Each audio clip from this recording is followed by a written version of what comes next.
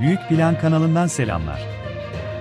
Türkiye ve dünyadaki önemli gelişmelerden haberdar olmak için kanalımıza abone olup bildirimleri açmayı unutmayınız.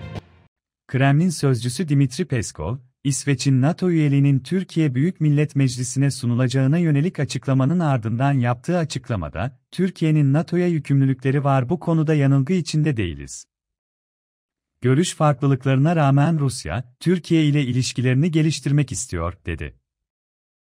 Türkiye'nin, İsveç'in NATO üyelik kararını Türkiye Büyük Millet Meclisi'ne sunulacağının açıklanmasının ardından Kremlin Sarayı'ndan ilk açıklama geldi.